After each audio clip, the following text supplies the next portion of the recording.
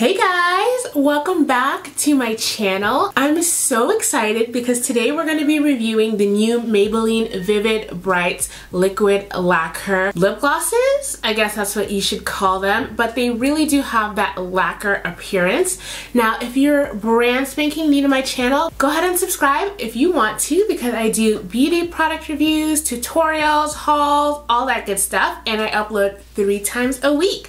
So let me go ahead and bring you guys just a little bit closer so you can get a good look at the products and we'll go ahead and swatch some of these and talk about how they perform. So I recently received these 10 styles here and it was interesting. I went to a launch party that they had down in LA because I was visiting my family and I got an invite. So I was like, sure, why not? And that way I can just review them for you guys, for those of you that are interested in purchasing these. And that way you have a good idea of how they perform before you spend your money. So let's talk about the first one that I'm wearing right now. This one is called Slay It. Now, when you take off the little tip. It's got a doe foot applicator, but it's also slanted, and that way you're able to line your lips, and that way it's not messy or anything. Now, when you actually apply it to your lips, it applies initially kind of runny. It's not gonna drip on your, you know, chin or anything like that but it does apply a little bit runny and if you have a little bit more pigmented lips like me you might need to apply a second coat or go over it with the doe foot applicator now I will say that after you've already, you know, applied it, it does dry down and it's not a matte lipstick at all. Like, let's be very clear, it's definitely a lacquer lip gloss, but it's a tiny bit stickier so that it sticks to your lips and not like nasty sticky at all. It's so hard to describe, but it stays on your lips and as proof, I did actually eat a corn dog and this stuff did not mess up. It did not smear at all. So it does stay on, but it doesn't stay runny looking or have that runny consistency throughout the day. It's just as soon as you apply it and then you can kind of feel that it's adhering to your lips. Alright, so this shade that I'm wearing right here in this little tube is called Major. Now honestly, I'm really not the type of person to rock this type of shade.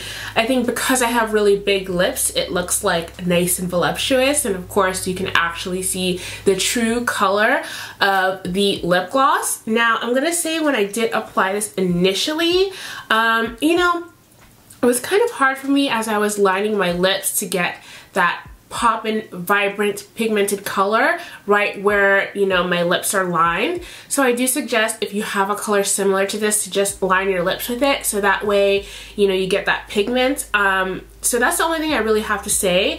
It is very pigmented when I took off the first color and added this one. It totally covered my lips that definitely had that pink stain left from the first color. But I do like it. For those times that you definitely want to be bold, if you are that type of person, you can rock this look. And um, I love this, the packaging. Like real quick, I want to talk about this. It's really nice, really chic, and the applicator is really nice to apply as well. So let me know as I'm going through each color, which colors that you guys would actually wear. And um, if you do have these already, what do you think about these glosses and which colors do you have. So I'm gonna go ahead and put on the next shade and we can talk about that one. So this shade here is called Charming. Now, of course, you guys, it looks crazy on me right now. Um, this is it right here. Normally what I would do is I would line this with a darker like matte chestnut kind of liner, but I want to stay true to color. Obviously, for those of you guys that mix lip combos, you know what the deal is. But here is, is what the shade looks like. Like, not even playing around with it, not even trying to make it work. Now, those of you guys that are lighter than my complexion, it probably is gonna look gorgeous on you. And those of you guys that are my shade of brown or darker, you're gonna need to mix it. All in all, I mean, I know I look crazy right now. I think it's a beautiful shade if you use it right. If you don't use it right, then you might look a little bit like a crackhead. But um, yeah, I'm willing to make myself look a little bit crazy so that for you guys that are going to the drugstore and buying this, you're like, okay, you know, if I'm gonna buy that shade, this is what I need to do. Now this shade here is called Retro. For some reason it actually turns up as more of a red, but honestly you guys, in person it's definitely a chocolatey, like deep chocolate color. And for me, this is definitely a color that's in my own comfort zones.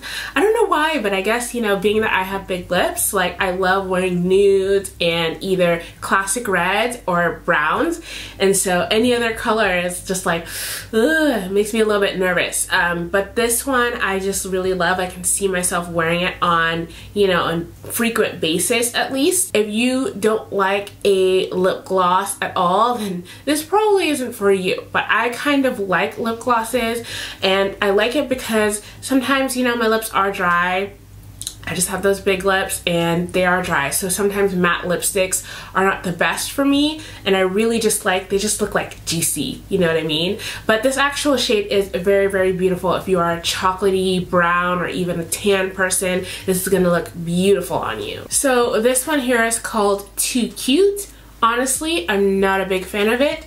I mean, of course you would combine it with a darker brown to match, but Honestly, soft pink is not really my kind of color and I don't really like the formula of this one. It definitely needs a type of liner to go under it because if you have pigmented lips, like you can see gaps and it kind of clings to any dry spots on your lips so if you have lips that are just a little bit dry it's not gonna look cute um, yeah, not a big fan of this one at all, at all.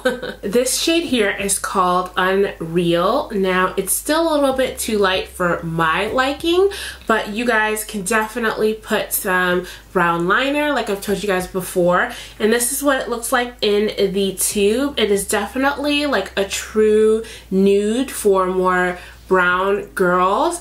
Um, I also think this would look good on somebody who has fair skin too because it's nude but it's a little bit darker pinky of a nude as well.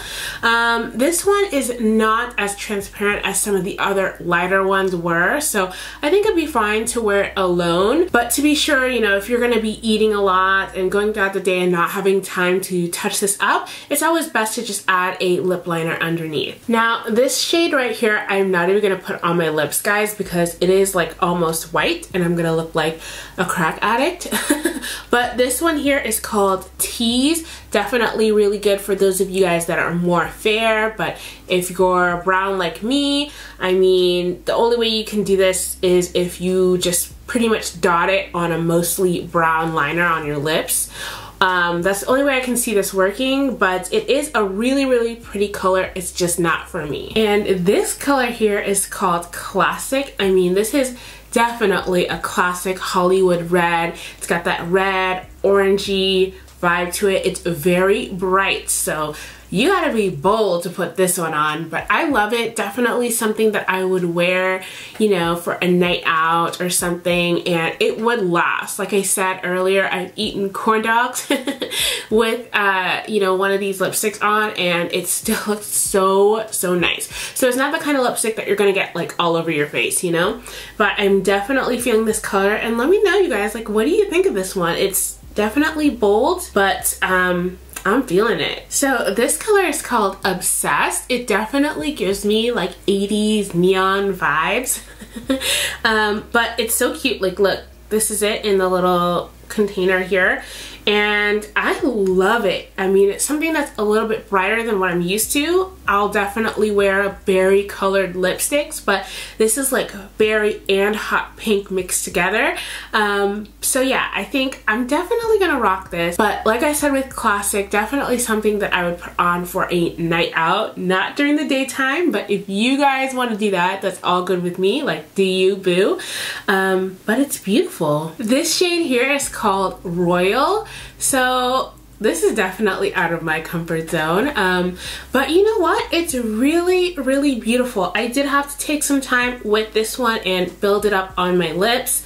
Um, probably because I'd already had a lot of pink on it stained from the previous color.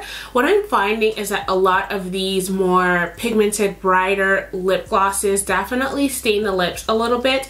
But unless you're somebody who's trying on 10 in a row like me, I really don't think that matters. Colors.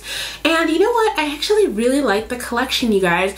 There are definitely some colors that are out of my comfort zone, but for those of you guys who really, really love color and want a really good lip gloss formula that's gonna stay on the lips, it's gonna be super, super nice for you. Now, the only thing is some of the lighter colors, you definitely need to build them up um, or use a lip liner underneath, which is kind of, you know, understandable. I mean, I'm gonna give Maybelline a break on that one, but I think a lot of these colors can work for brown girls as well. So that's really, really exciting. I believe these do retail for $7.50 around that price. Of course, it's to vary depending on where you go, but it is in the drugstore. So you guys can like go ham with all of these. Let me know which colors were your favorite colors out of all 10 that I swatched for you. And yeah, I got a bunch of new Maybelline products, so I will be coming out with reviews and first impressions of those very soon. And give this a thumbs up if you're excited for that. I love you guys and I will see you in the next video. Bye!